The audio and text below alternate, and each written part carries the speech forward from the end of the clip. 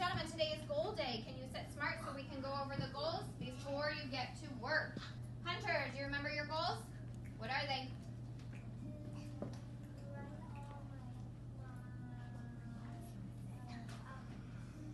Letters. And to do your letter sounds. Riley, remember your goals? You got it. Go get to work. Kimmy, do you remember your goal you need to work on? What is it? Go work on it. Noah, what's your goal you need work on? Yep, you and Kimmy have the same goal. You might want to team up together.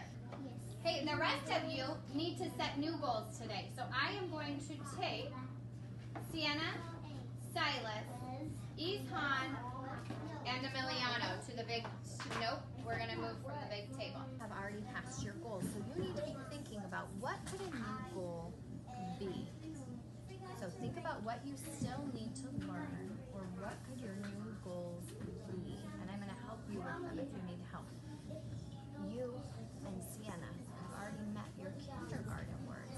next list. So these are called. You know some of them already? Oh, stop it. So, what I'm going to do, you guys are going to set a new goal about these words, okay? So, there's 60 words on your chart. So, I want you to look it over and see how many you already know, kind of, and then see how many more you want to learn for your goal. Okay? So, you two look at that real quick while Ishan and Emiliano and I talk about their segments. All right? So, then maybe this is not a good goal for you.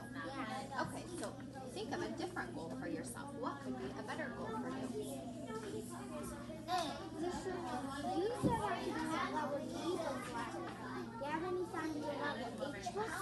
Oh, that would be a good goal, wouldn't it?